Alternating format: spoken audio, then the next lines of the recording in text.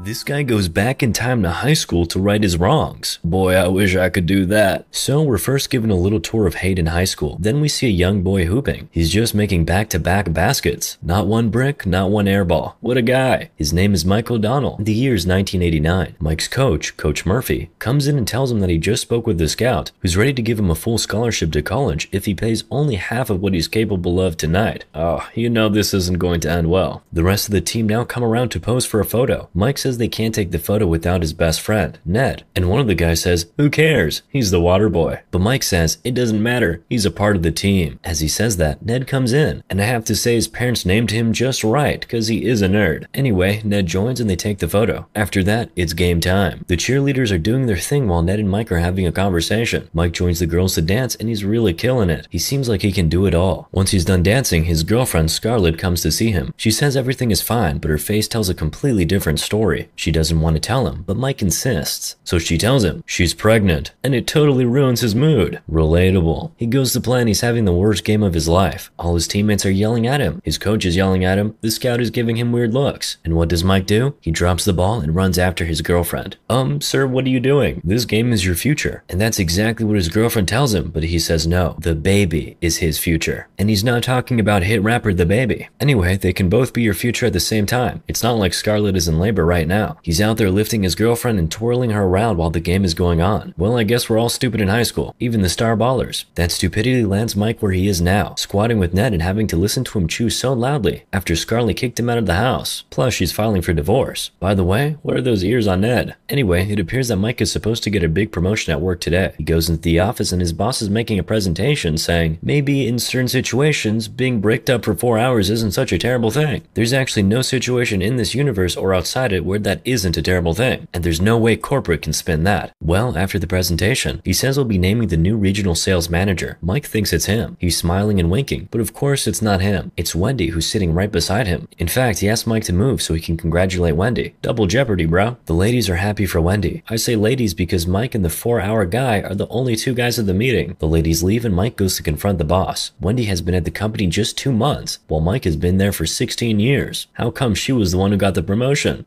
Sexism moment. The guy's giving some BS explanation, and Mike has had it up to here. He takes the boss's earpiece, smashes it on the wall, and quits. To add insult to injury, while Mike is in the elevator, the girls come in and are chanting, Wendy, Wendy. Isn't that too many people for one elevator, by the way? Anyway, Mike drives straight to his high school and walks into the basketball court. Of course, he regrets his decision to that day. How couldn't he? He's walking around the school and thinking back to how things were for him back then. While he's looking at the picture they took back then, this Santa Claus looking janitor walks up to him and calls out his name. Mike doesn't know him, but obviously he knows Mike. He's now saying that high school stars like Mike, who fail to live up to their potential, always return to the school to picture the glory days and wonder what might have been. I too peaked in high school. He says they're always living in the past, Mike says of course. He does want to live in the past. Then Santa Claus says, I'll bet you wish you could do it all over again. Mike says, you got that right. Santa Claus says, are you sure about that? And Mike says, oh yeah. Just then, the bell goes, and his daughter comes out with three of her friends. She asks what he's doing there, and he wanted to say he was just talking to the janitor, but he finds out that the janitor was nowhere to be found. He had disappeared. He tells his daughter to go get her brother, so they can go for some ice cream. Meanwhile, her friends are fawning over him. Mike, his daughter Maggie, and his son Alex are now at this ice cream place, and why are there so many kids? He's trying to get some conversations going with his kids, but it's not really working. His son is also a basketball player, and Mike is trying to make sure he's on track to get a scholarship. He drops the kids home and he sees his wife destroying the yard. He confronts her, and she tells him it's not their yard, it's her yard. And from this conversation, we find out that Mike has spent the last 18 years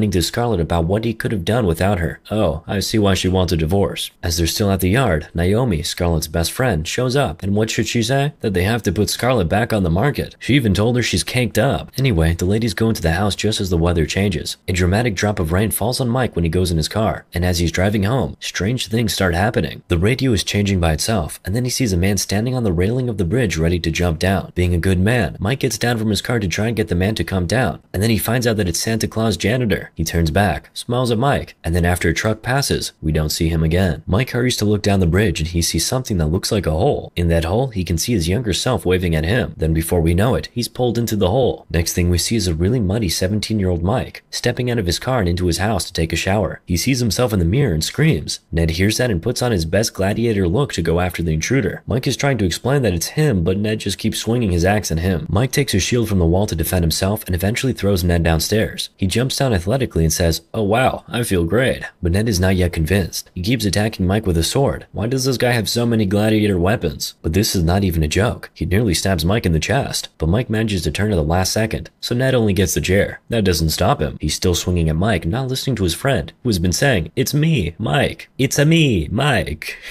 the fight soon switches from using gladiator weapons to using lightsabers, and now Mike is trying to tell Ned things about him that only his best friend would know, including the fact that one of his balls hasn't dropped yet. Okay, I surely did not need to know that. But hey, that still doesn't convince him. He puts Mike on the ground and goes to grab something to smash his head in. That thing happens to be a picture of him with Mike back in high school. That was what finally convinced him, but he still dropped the picture on Mike's head and he blacked out. After some time, Mike wakes up and Ned won't stop staring at him while he's icing his head. He's freaked out. I mean, who won't be? He's trying to figure out how this transformation happened though. His theory has something to do with gamma rays. That's why all these books are littered on his table. But the most likely explanation is spirit guide transformation magic. Basically, Mike has been transformed by a spirit guide to set him on a new path. His spirit guide being the janitor. So he rushes to the school and is asking for the janitor. But nobody at school knows him or has ever seen him. In fact, he looks like a madman asking for the janitor. Then the lights flicker. He sees water on the floor and traces it down to the basketball court. That's enough for him. He rushes back to Ned and tells him he has it all figured out. He's going back to high school. They get in an argument over that, but Mike insists. Ned then reluctantly agrees, but tells Mike not to suck him into any of this, as high school was the lowest point of his life. But what do you think happens? Of course, he was sucked in. What are best friends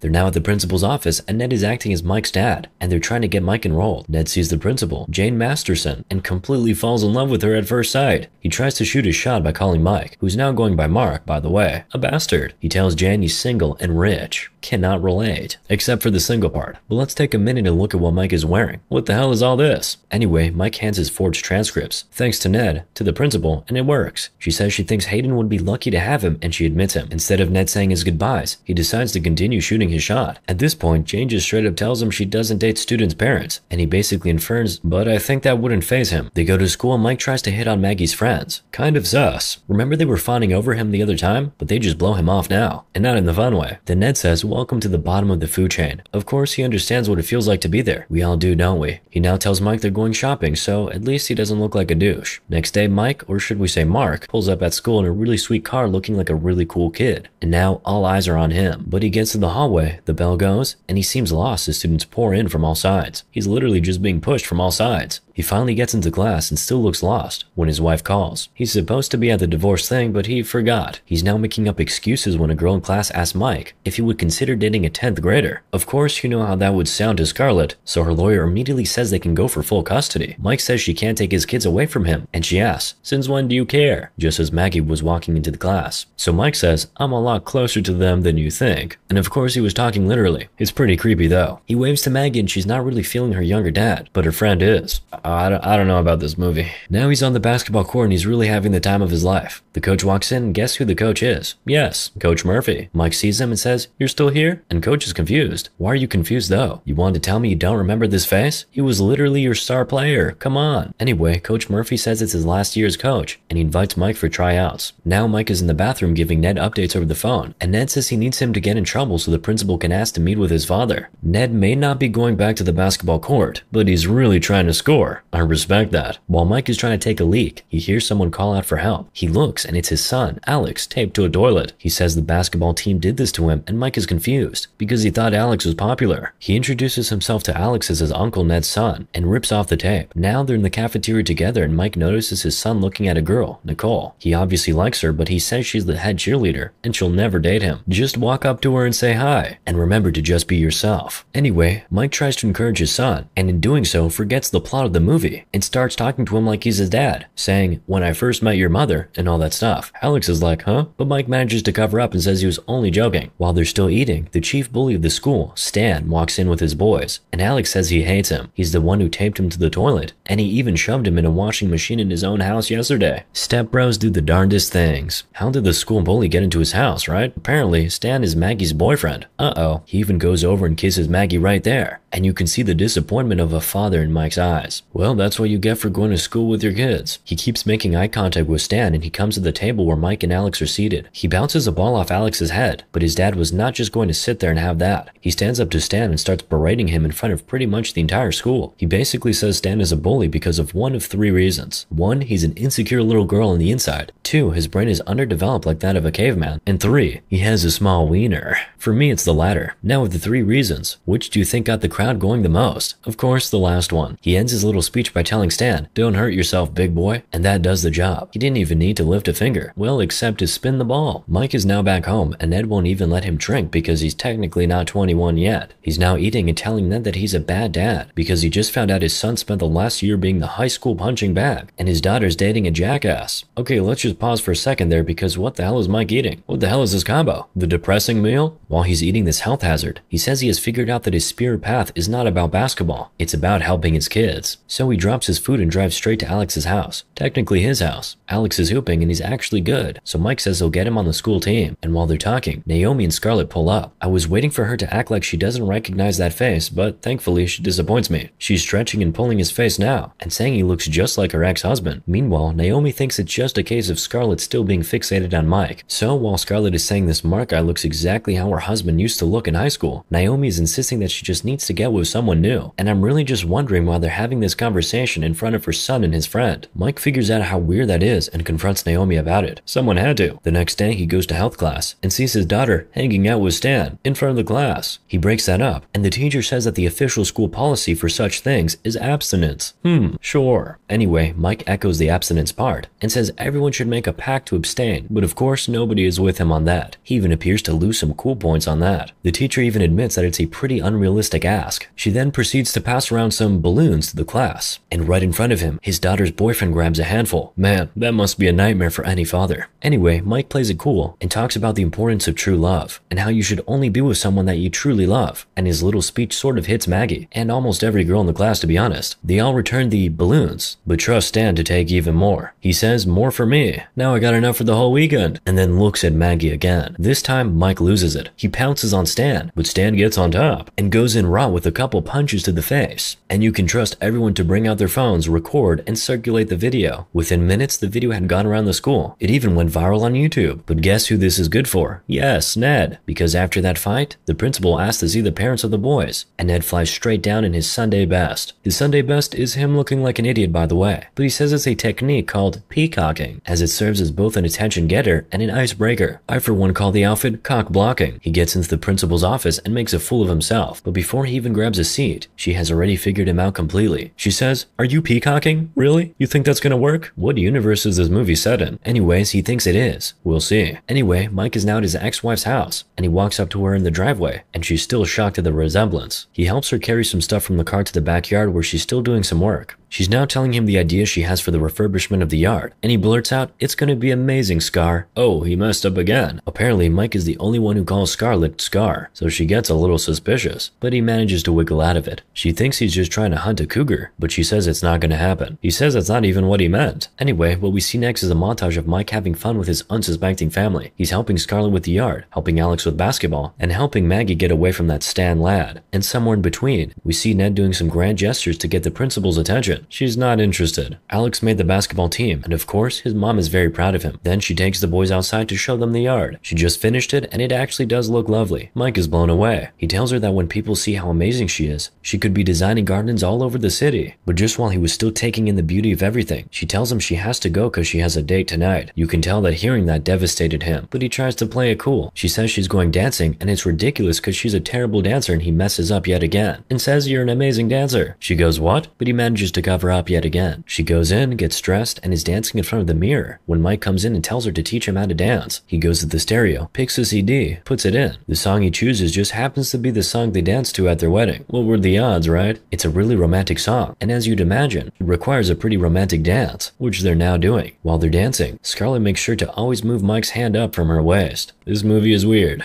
As that is going on, he asks Scarlett if she'll ever get back with her husband, and she says no. She loves her husband and cares about him, but sometimes that just isn't isn't enough. He's gotta be rich too. Anyway, Mike now lifts her and is spinning her around and their faces are coming so dangerously close to each other. Alex shows up right in time to break that off. He turns off the music and tells his mom that her date is here. Scarlett goes to answer the door and Mike is just behind to try and ruin it, but his attempts are futile. Scarlett hands him the divorce papers to give to Ned, to give to Mike, and remind him he has to be there on the 27th. Then she grabs her coat and leaves. Just as his wife leaves, his daughter runs out to a car and says she's going to Jamie's party, so Mike drags Alex there immediately. They're at the party and Mike is trying to get Alex to talk to Nicole. Alex then asks Mike, What do you even know about girls? And he starts telling him about how he used to date the most beautiful girl in school. The letter slipped through his fingers. He's telling him about his mother, but of course he doesn't even know. He eventually forces Alex to go talk to Nicole and then goes in search of Maggie. He's asking Maggie's friends where she is, but all they're interested in is unwrapping him like a Christmas present. He nearly falls for one, but he shakes himself out of it, because he remembers that deep down he's like 40. Come on, man. He sits them down and gives them a little lecture about respect, but they say they don't even want him to respect them. Whoa!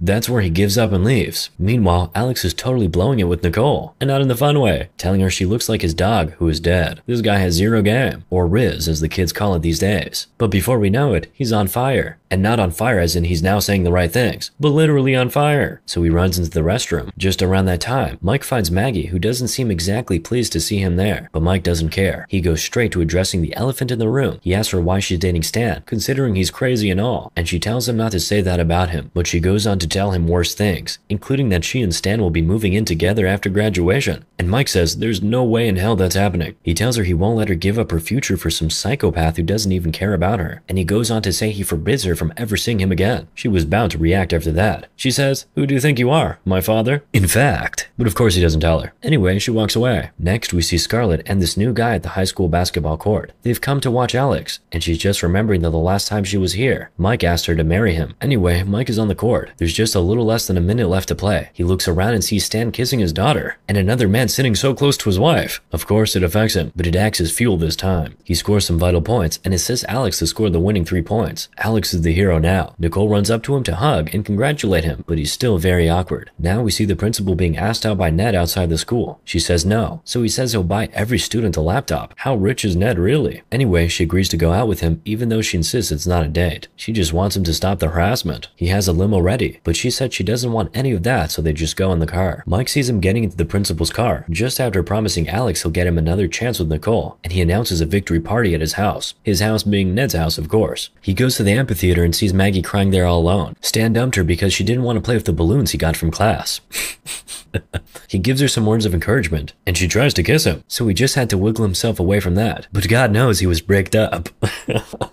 he invites her to the party tonight, and everyone else is getting invited too. Now we're at the party, and everybody's there. Alex is doing better with Nicole. Meanwhile, Ned and the principal are on their date. Ned is being an absolute weirdo with the wine, smelling it and making some weird sounds with it in his mouth. She gives him a look, so he just confesses that he doesn't know how to act normal, and he's just doing all of this to impress her. He would not normally do any of this kind of stuff. He confesses that what he would rather do is spend 10 grand on Gandalf the Grey's quarter staff from the Two Towers, and who would have guessed it? She's also a fan. They connect on that, and that's it. He's in. Back at the party, Stan is still disturbing Maggie for sussy activities, but she manages to resist the pressure and tell him she's with someone else now. Just then, Mike shows up and asks him to leave the party. Before he leaves, Mike swings at him, but Stan holds his hand and punches him in the face. He blacks out. He wakes up saying he had the craziest dream. He was back in high school and all that. He's calling Scarlett's name. But to his absolute horror, it's his daughter right there. And it's kind of a nightmare that we're gonna skip over. He's running around trying to escape her, but she thinks he's just playing games. So she's just running around after him. He tries to stop her from doing anything with him, so she just assumes he's not about that life. That must have all been very frightening for Mike. Meanwhile, Ned's date is going great. They're even communicating in Gandalf's language. They're ready to head home now. That home, by the way, is still completely filled with the high schoolers she governs. And we see Scarlett come in to look for Alex. Mike stops her and tells her Alex is fine and might even have a girlfriend by the end of the night. Then he takes her upstairs. Jane and Ned now pull up at the house and are met with total chaos, but with just one whistle. Jane gets everyone to disperse. She's really good at her job, isn't she? Anyway, Mike is upstairs with Scarlett watching Alex have fun, and Scarlett is talking about how nice it is that Mike, I should say Mark in this instance, cares about Alex so much because the boy really needs a role model. Mike tells her she's a great mom, just about the time that Maggie and her friends catch sight of them on the balcony. As they're still watching, he makes a move on Scarlett and gets a slap in return. She's walking briskly away from him while he's chasing her and telling her he's actually her husband and the father of her kids. She doesn't want to hear it. Just then, Maggie and her friends show up and slap him one after the other. Now it's a party. But it's not only a sad night for Mike. It's also a sad night for Ned. Jane says she can't do this, as the students have already seen her with a student's parent. Mike comes and apologizes, but he gets four slaps and a hug from Ned. Next morning, Ned is cleaning up while Mike is sulking because he has lost his family. Ned tells him to move on, but he says he doesn't want to. Incidentally, this is the same day that court hearing for the divorce is supposed to happen, so they rush off to court in a sweet yellow Lamborghini convertible. Mike holds up a siren and that helps them arrive just in time to hold up the judge's ruling. Ned hands a forged law degree to the judge, and she lets him talk, but one sentence is enough for her to know this is BS, so she tells the orderly to take them out, but Mike says he has a letter from Mike and Scarlett says she'd like to hear it, so they allow him. The letter is basically Mike reminding Scarlett of how they met, the homecoming dance, when she first told him she loved him, and how he lost his way as he grew up, and blamed her for everything. Mike is tearing up now. Scarlett is tearing up too, but the judge is not. She tells Mike to leave. He drops the paper there and walks out with Ned. Scarlett asks for postponement, and the judge postpones the case for 30 days. Then she goes to pick up the paper Mike dropped and it's just some irrelevant directions written on the paper. That tells her all she needs to know. Later at night, Mike is hooping at Ned's house. He's practicing to impress the college scouts. Ned says if he goes to college, he'd get off his spirit path, and Mike yells, There's no path. I can't do it. He says everyone is happier with him out of the picture, so he's just trying to move on now. At about the same time, Scarlett goes through her high school yearbook to remind herself of what Mike looked like back then. Then she goes out and sees a hammock with a note and a ring on it. The note is from Mike, and it says, I wish I could finish all the things I started. While she's still holding the note, Maggie comes and says it's time to go. Then we see Mike on the basketball court hooping and practicing for the game, and coach comes in and gives the exact same speech he gave back in 1989. Then they go take a picture. Then the cheerleaders do their thing. You know exactly as it was in 1989. Scarlett and Maggie show up to watch the game, and Mike and Scarlett lock eyes. Ned, meanwhile, has not given up on Jane. He shows up in this weird coat and tries to win her again, but she insists she cannot be seen with the parent of a student. He then replies, But Jane, how can you be seen with me when I'm wearing the cloak of invisibility? And believe it or not, she finds it hilarious. Ned now says all he's asking is to be friends, but we all know that's a lie. Anyway, she agrees. Or in her words, you can plunder my dungeon anytime. Whoa. Meanwhile, Mike, on the court, now makes a gesture at Scarlett, and she just goes, Oh my god, I can't be here again, I have to go. And she just stands up and leaves. From there, everything from the 1989 game and the present are just intertwining in his head. What does he do? He hands the ball over to his son, tells him, It's your turn now, and runs after his wife. His spirit guide is very happy about the decision he just made. As he's running towards his wife, he transforms back to his adult self. She tells him he didn't have to come after her again, but he says he had to because he loves her. He tells her she's the best decision he ever made. He just forgot. He says he wants to make it up to her if she can just give him a second chance. And damn right she can. They make up and they walk out while Alex is killing it on the court. Now Mike is at Ned's house. He's packed and ready to leave, so he goes to give Ned his key back. And Viola, it's Ned and the principal hanging out. Oh, with elf ears I see. I shall refrain from judgment. As it appears, Mike is taking over from Murphy as coach of the high school basketball team. Great job. Moral of the story? Just walk up to her and say hi.